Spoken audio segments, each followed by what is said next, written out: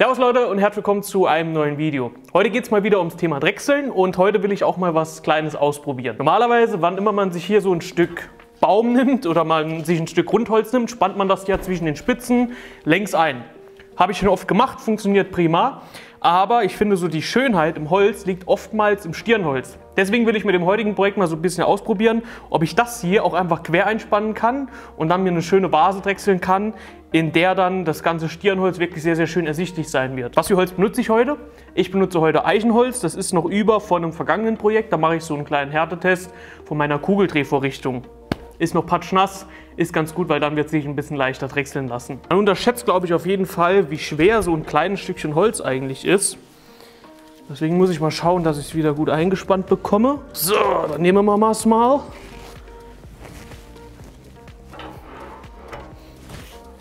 Schauen erstmal, dass es einigermaßen rund läuft. Okay. Das war mal nix.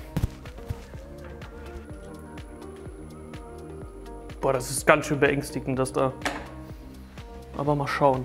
Wenn ihr das auch mal ausprobieren möchtet, dann würde ich euch vielleicht empfehlen, je nachdem, was für Holz ihr benutzt, dass ihr die Rinde vorher abschabt. Ich bin mir jetzt auch noch nicht sicher, ob ich das vielleicht gleich doch noch tun werde. Ich werde es aber als erstes mal so probieren. Ich gebe jetzt ordentlich viel Druck auf den Reitstock, damit das Ganze sich nicht durchdreht. Ich halte die Maschine mal wieder ein. Ja, das ist schon ganz schön übel. Das gehen wir mal auf Drehzahl ein bisschen. Ne, ich muss es doch abspannen, ausspannen.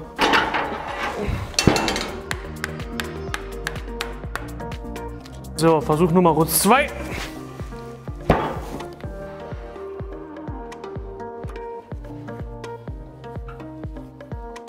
Ich will mir das Leben ein bisschen einfacher machen, deswegen schneide ich hier diese harten Kanten mit der Kettensäge ab. Haben ja ganz viele Leute ausgelacht und haben gesagt, ich würde diese Kettensäge da gar nicht benutzen. Aber für eine 30 Euro Kettensäge habe ich sie jetzt schon ganz schön oft benutzt. Und schon beinahe die Drechselbank runtergeschmissen. Ja, das ist schon mal gut. Hier ist hier noch ein bisschen.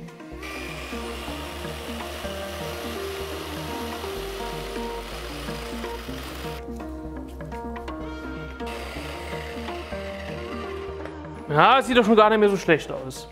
Da wir heute im Prinzip eigentlich nur Querholz drechseln werden, werden wir auch ein bisschen anderes Werkzeug benutzen. Das heißt, ich werde heute größtenteils Röhren benutzen, mit denen wir dann halt eben das Material erstmal wegdrechseln werden und dann auch die Form anarbeiten werden. Hier eine schöne kleine Information, da freue ich mich selbst schon riesig drauf. Ich erweitere derzeit das Sortiment von Drechseleisen auf meiner Webseite. Deswegen, wenn du noch auf der Suche nach Drechseleisen bist, mit Erklärungsvideos, was das Schärfen und das Benutzen halt auch eben angeht, dann schau doch gerne mal unten in der Videobeschreibung vorbei. Wie gesagt, das wird jetzt in naher Zukunft noch ein bisschen mehr werden auf meiner Webseite. Aber geh jetzt mal in die Drechselbank und fang mal an, das Ding rund zu machen.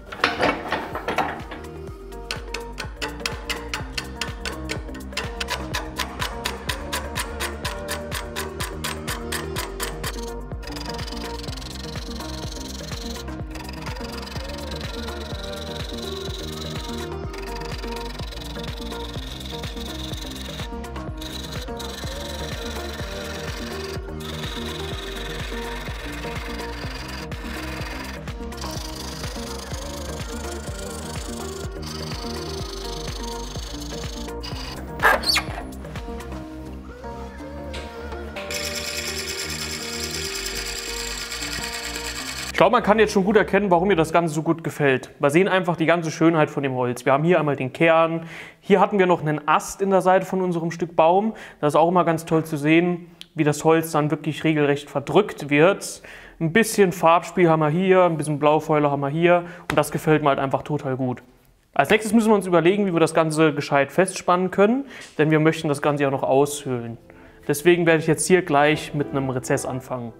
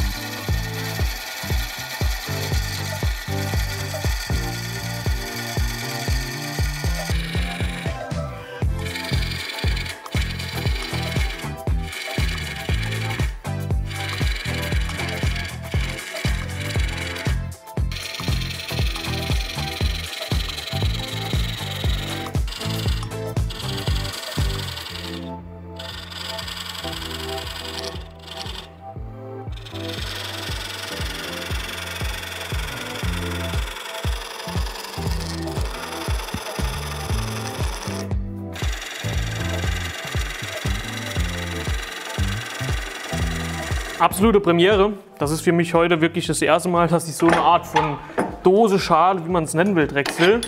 Ich bin gespannt, ob alles so läuft, wie ich es mir bis jetzt mal noch vorstelle. Oh, das läuft ja auch nämlich gut. So.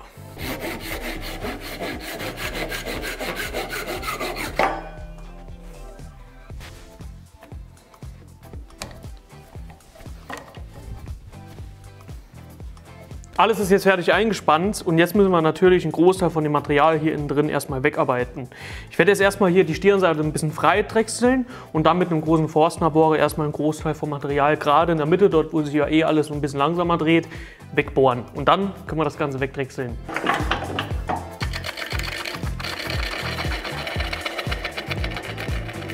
Das ist der Forstnerbohrer, den ich jetzt benutzen werde.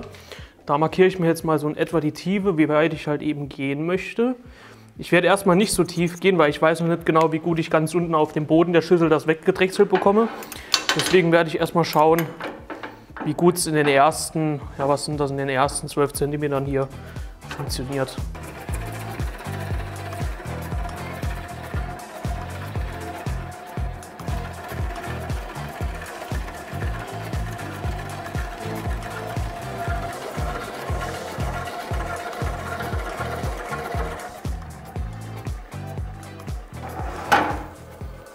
Und jetzt geht es mit dem Drechseleisen weiter.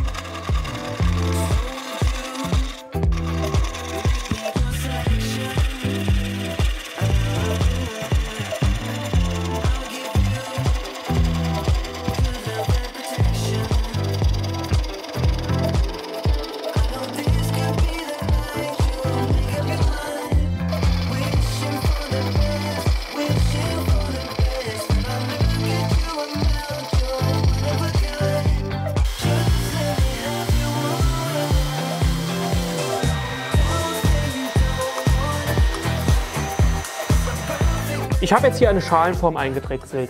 Ich habe nicht ganz bis auf den Boden gedrechselt, weil ich halt einfach nicht tiefer reinkomme. Denn mit normalem Werkzeug geht das halt irgendwann nicht mehr so wirklich, weil ihr keine Auflagefläche mehr habt. Es gibt spezielle Ausdrehwerkzeuge, die sind aber auch irgendwie 1,20 Meter lang. Äh, mit denen könnte man das machen. Das habe ich aber nicht. Noch nicht, wer weiß, vielleicht kommt das noch irgendwann. Auf jeden Fall werden wir jetzt erstmal die Innenseite schleifen.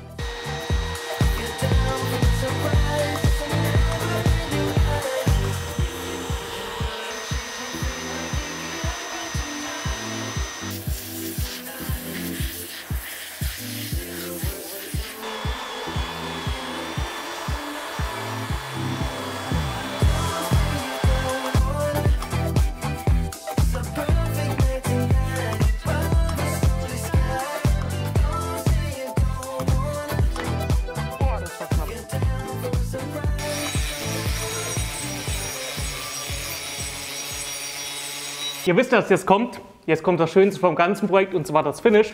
Verlinke ich dir in der Videobeschreibung, ist von mir. Von dem Typ da. Das ist vor allem speziell witzig, wenn man da so ein Facefilter drüber macht. und zwar ziemlich genau so. Wer überlegen sich sowas? Überlegen wir, dass wir so in einem Baumarkt stehen. So. Mann. Jetzt geht's aber weiter.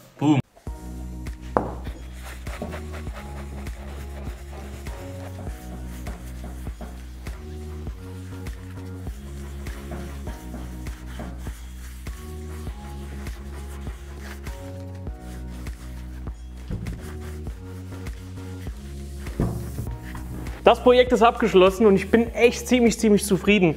Das hier war mal so ein bisschen exotischeres Drechselprojekt, denn so viel hat man gar nicht direkt an der Drechselbank gemacht bei einem drehenden Stück Holz, sondern auch bei einem stehenden Stück Holz mit einem, mit einem Schleifgerät das Ganze dann glatt gemacht. Hier auch unten der Fuß, der ist jetzt nicht ganz rund, aber mir gefällt das total gut. Und ich finde, das hier zeigt auch mal ganz gut, dass man an der Drechselbank nicht immer nur die klassischen Dinge machen muss, wie eine Holzschale oder irgendwie was rundgedrechseltes. Es kann auch so ein bisschen, ja, ein bisschen was ausgefalleneres wie hier dieses Objekt sein. Schreibt doch gerne mal in die Kommentare, was das hier deiner Meinung nach ist. Eine Schale ist es ja nicht irgendwie so richtig. Es ist ja eher so ein, ein Ding. Ich bin wie immer so ein bisschen schlecht mit den Worten, aber ansonsten, wenn du noch ein Drechselprojekt sehen möchtest, dann kann ich dir das obere Video empfehlen und wenn du nicht so auf Drechseln stehst oder dir was anderes ansehen möchtest, dann schau dir gerne das untere Video an. Schau doch gerne mal in die Videobeschreibung, da findest du ein paar Links. Das soll es für heute gewesen sein. Ich wünsche dir einen ganz tollen Tag. Tschüss.